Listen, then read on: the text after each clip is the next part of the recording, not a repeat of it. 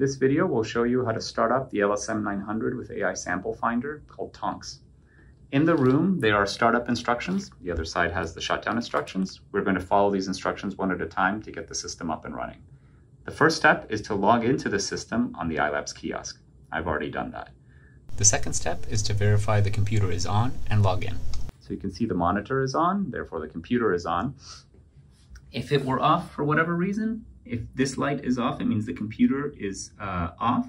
Press it and that will turn the computer on. People should leave the computer on, but if for some reason it's off, that's the button you press to turn it back on. Um, so now we need to log in. So I'm just gonna hit enter.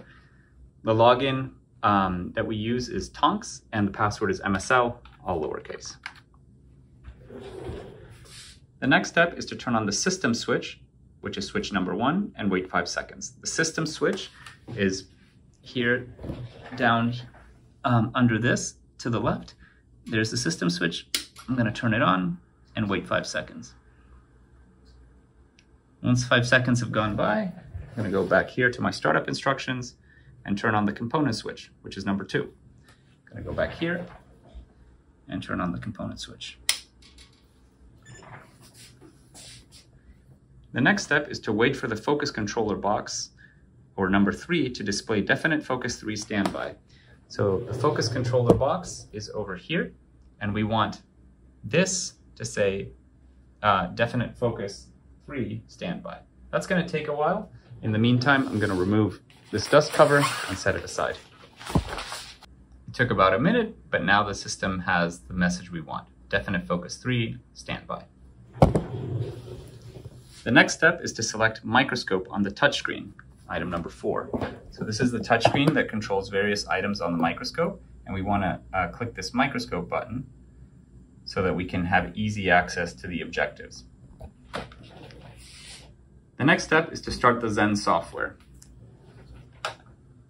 See, I'm just going to double click here on the top left corner of the screen on Zeiss Zen. It might not be exactly the same version for you as we periodically upgrade it, but it should look something like this when it starts. The software has finished starting up and this message has come up saying stage focus not calibrated. If you look at the startup instructions, it says if there is a stage focus not calibrated message, click calibrate now. That's what we're going to do. When you do that, the stage is going to move and find uh, the corner. So make sure that you don't have um, something fragile on there uh, that this movement would cause it to fall or something like that. Now that'd be very weird, but um, just make sure you don't have a sample on it while it's doing that just to be safe. Now it will only do this calibration if you are the first person to turn it on during the day or if you came and found it off. If the system was already on when you got here, you will not need to do this calibration. Once the calibration is complete, this, we're almost done with the startup. There's one final step, which is to load the MSL workspace in the top right corner of Zen. So if you look at Zen, it's a big screen. In the very top right, it says workspace.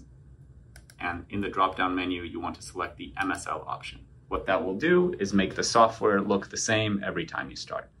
With that, we're ready to go.